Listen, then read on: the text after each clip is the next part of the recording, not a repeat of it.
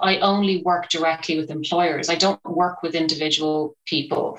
Um, I work directly with employers who want to support their working parents because I think they have a responsibility to be the leaders in the space um, and to provide that support.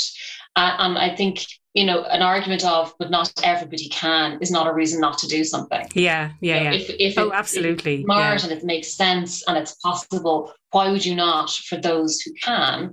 And then for those who can't provide, you know, six months paid paternity leave, um, what else could they do? What flexible working arrangements would be available? Uh, we saw in the pandemic massive changes in ways of working Yeah. lots from employers who were very flexible to begin with, and lots from employers who, who never had anything other than a standard nine to whatever, Yeah. office based, and all of a sudden they could. Um, so a bit of creativity, you know, is, is, is useful.